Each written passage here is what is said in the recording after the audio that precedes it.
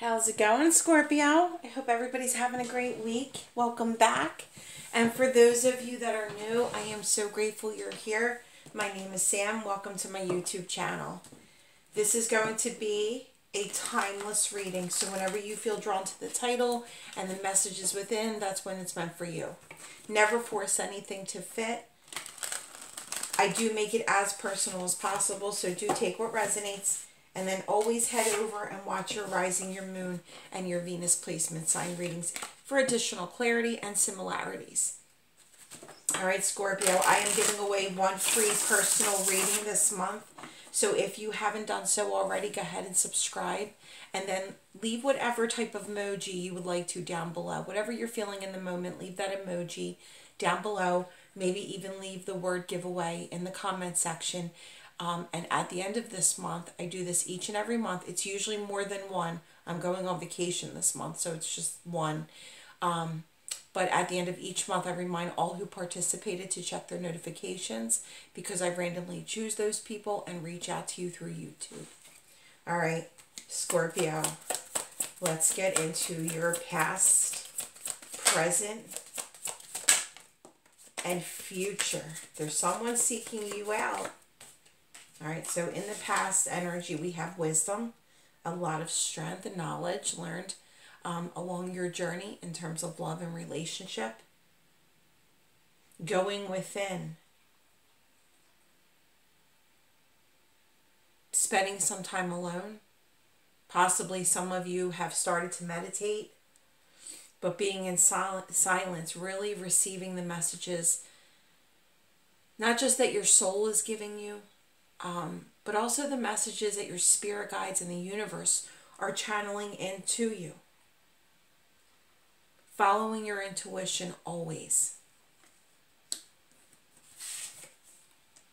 Yeah, see, I feel like for some of you, you've been through some situations where you have le- been left feeling alone or on the outside looking in. You might have been love bombed, gaslighted, ghosted. And I, I know when you're feeling this in the moment, you're not feeling that, that this is a blessing. But when you're actually left to spend some time alone, a lot of growth happens. That's when that wisdom is found. And in the present energy, masculine energy. Now, for those of you you know, I have a few men that do watch my channel. You possibly are seeking someone out. It says your masculine, your twin, or your soulmate is seeking you. So there is someone showing up in your energy, Scorpio. And let's see what else. We do have masculine and feminine traits in each one of us. So do keep that in mind. And a brand new beginning is about to take place. Fertility and control. Letting go you know, I always say it's never too healthy to watch a good portion of your day watching tarot readings. Um, tarot reading after tarot reading after tarot reading, hoping someone's going to enter your life, hoping, hoping, hoping, hoping you're going to find love. Releasing control wanting something so bad that you think about it so much. Releasing control. Because you have to remember what you're thinking about, you're bringing about. So if you're chasing after someone, if you keep hitting someone up, um, sending them text messages, not getting any reply, you know, driving past their home, maybe driving past their work, hoping to see them, that's control. You don't want to think, make the most of your day thinking about someone or hoping someone returns. You don't. If you know, depending on where your age is at, thinking, am I ever going to find love? Is it ever going to happen for me? You know, if you're seeing someone else being happy and in a relationship and you think to yourself, um, there's got to be hope for me. No. You got to let all of that type of, like that type of thinking you got to let it go. Trust in what you don't know. Trust in divine timing. Having faith in your spirit guides. because there is a new brand, a brand new beginning happening. All right. Let's get into it deeper.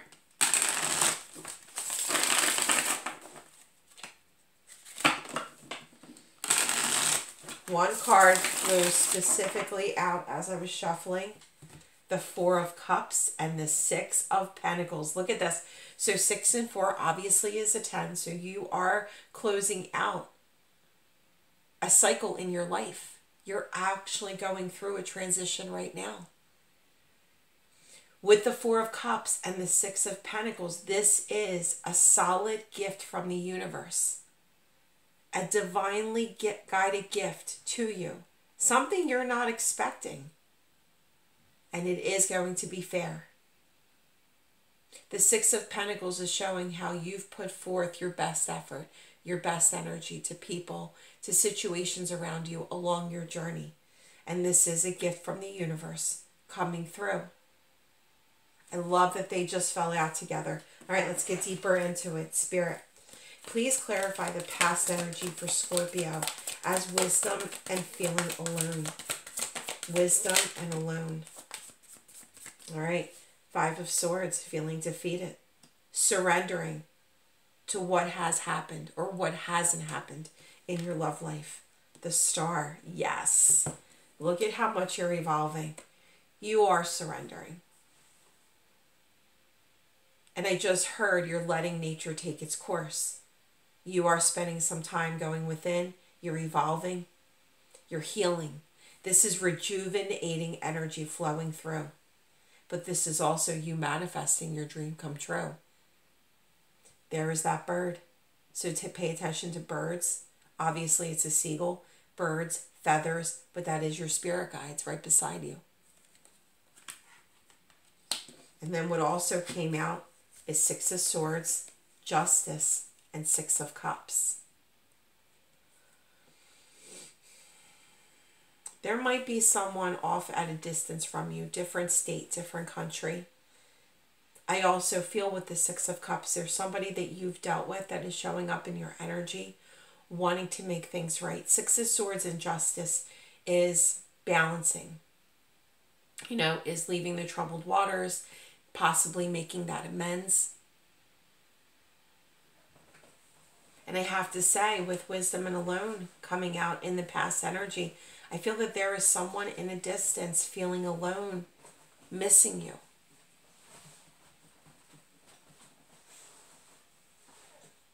But overall, I feel this is the energy of you leaving the troubled waters behind. You bringing that, your own stability and balance into your life, into your mindset. And there is an offer coming in possibly somebody even coming towards you giving you a gift. All right, let's see what else we can get. All right, Spirit. Present energy is masculine energy. I do. I feel for some of you, there's someone in the distance missing you. And I saw this before flipped over the Five of Cups. We have 5, 5 here, so change is coming. We had four and six. Remember, were the two cards coming out, which is a 10 breaking down to a 5 5. So pay attention to tens, pay attention to 5 5 5 5. But this is someone missing you. And I have to say, Scorpio, you may be in this energy right now. But what you don't see sometimes when you're in the sadness and you're missing someone or missing something specifically, there are two cups of, well, here they're coconuts. But there is two cups of feelings and emotions, not just one. There's two. So there is someone in the distance feeling this for you, missing you. We have fire, we have water, we have air energy so far. Actually, with the Six of Pentacles in the very beginning of the reading, we have some earth.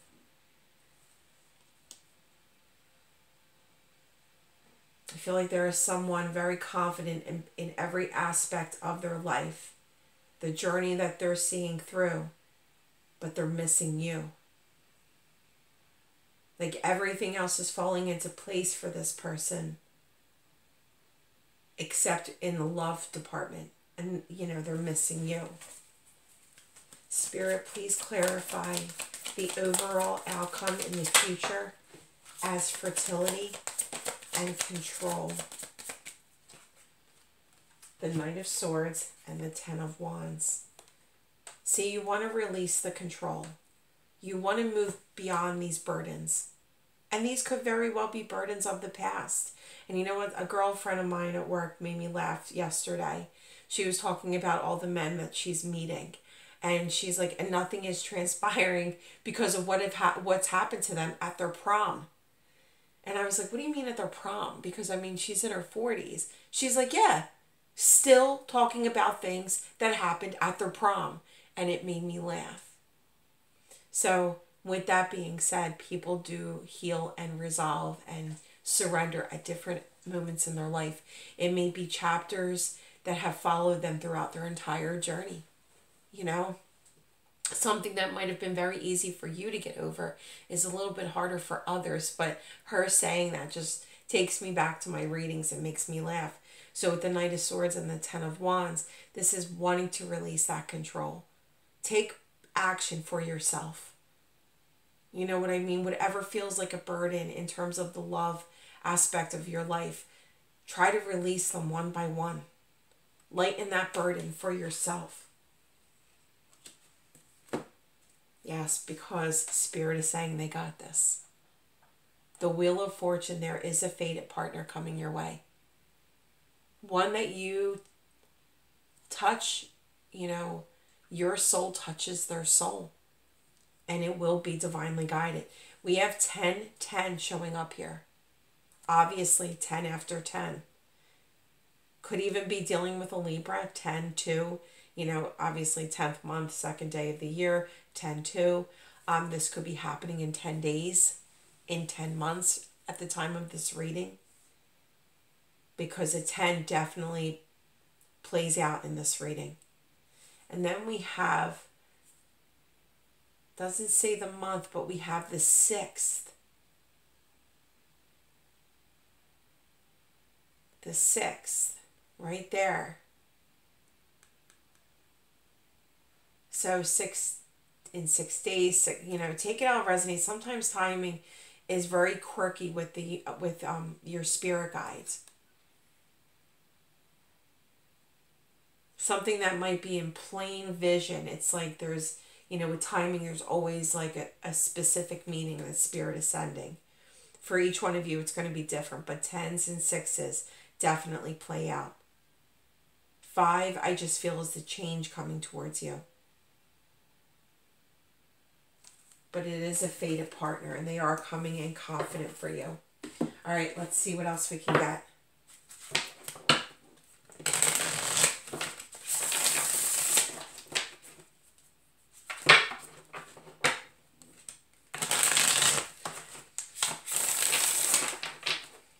Spirit. Present into future for my Scorpios. That flipped over in reverse. Let's see what it is. Five of Swords in reverse, making an amends. Yes. Five of Swords in reverse is feeling defeated, is surrendering, and is making an amends with someone.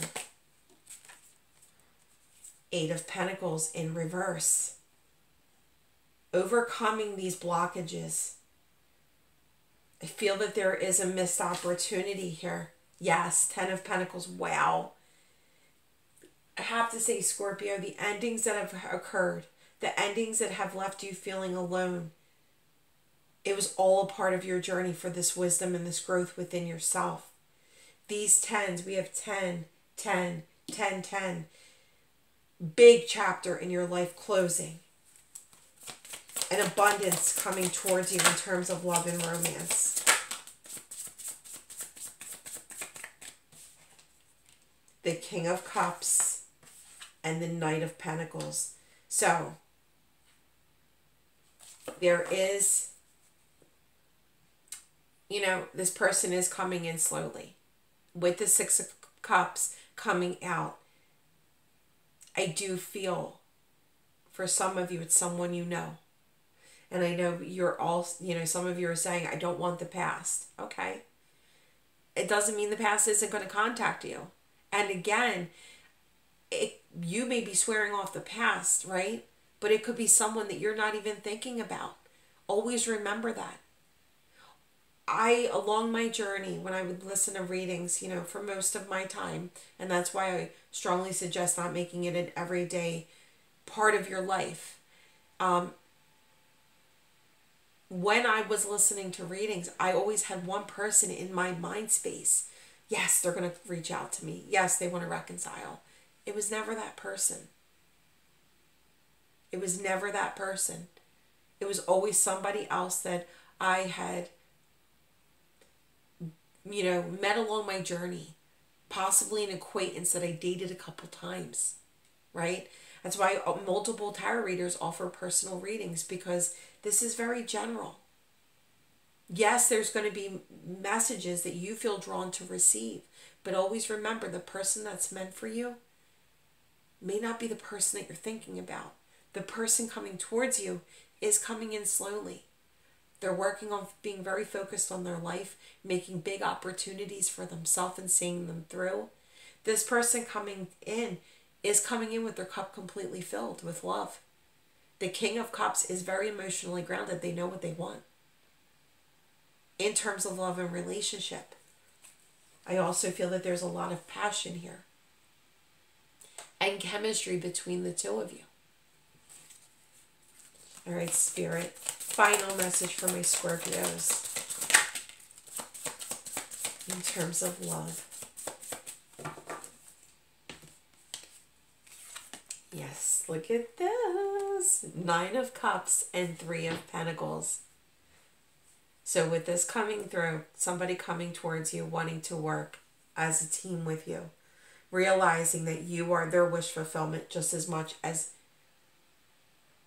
they as they are to you. And remember, look at this all of these options that both of you have in life in terms of love and romance. And I know some of you say, I've been single for 10 years, I have no options. You do. You do. Are you putting yourself out there? Are you making the effort? Are you mingling? Are you going to happy hour after work when your coworkers ask you? Are you hitting the beach with your coworkers or your friends when they ask you? Are you adding a dating app to your phone and maybe trying that out? Does it seem creepy? Sometimes it does to me. And I've done it. But that's also how I met my fiance. And for some reason, he felt so much different to me than anybody else on in that dating app. I felt comfortable telling him around the intersection that I lived. I felt very comfortable with him. Um, just talking to, him two o'clock in the morning on our first date on my birthday. He took me out for my birthday. It was very weird how everything fell into place. So for those of you that swear off online or app dating, it may just be that one person that stands out from all of the creepiness out there. And of course, use your intuition. If it feels wrong, it's wrong. When I met my fiance, we instantly clicked. We were both ready to delete the app. We were like, you know what? Why don't we just meet at the coffee place on our way to work. It was very like in between to to, to both of us. So we met there, we got a coffee, 5:30 in the morning on my way to the hospital, on his way to wherever he was going at the moment.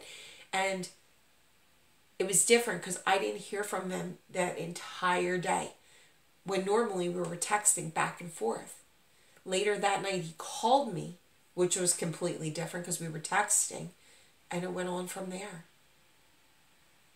and my intuition told me he was a good person. And just to make sure he was a good person, the second date I had him come in and meet my dog, she growls at everybody. He literally got down on the floor with her.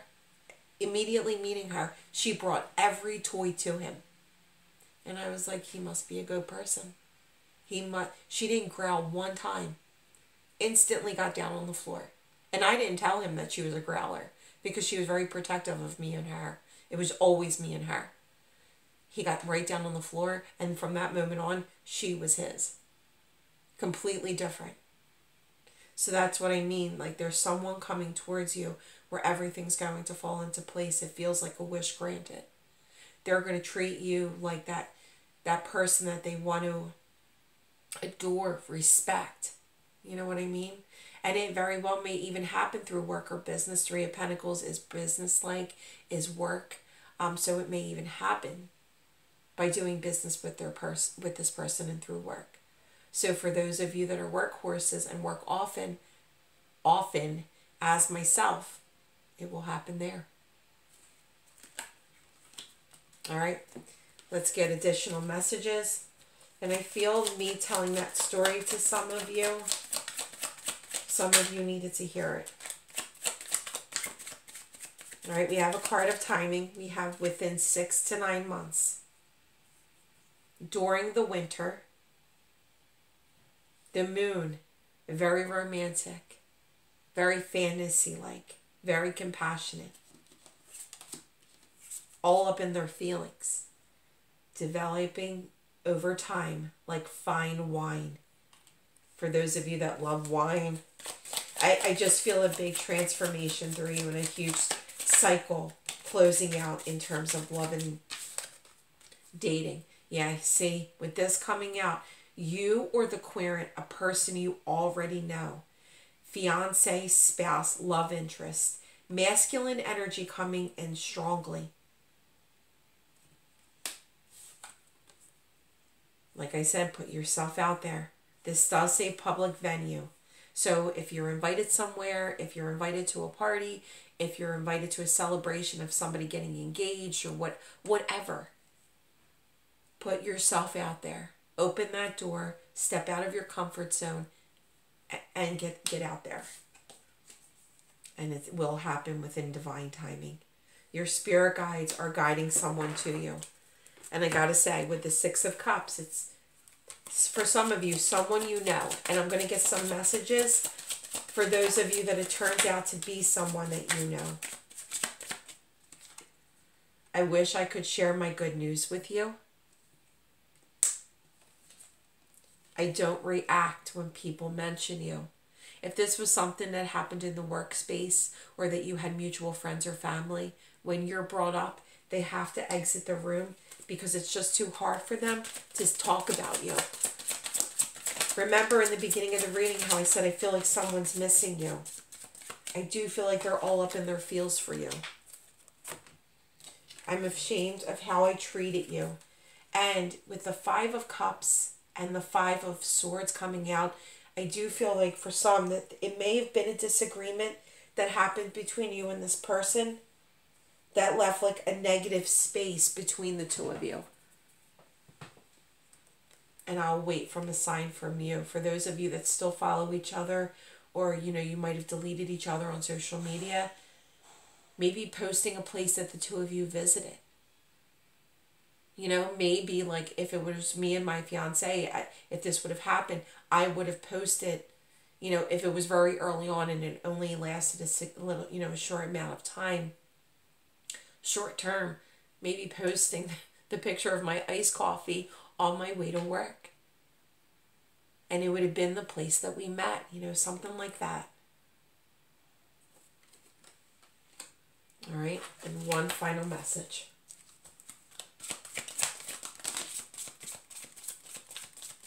All right, we'll take them, and they did fall out in a bunch.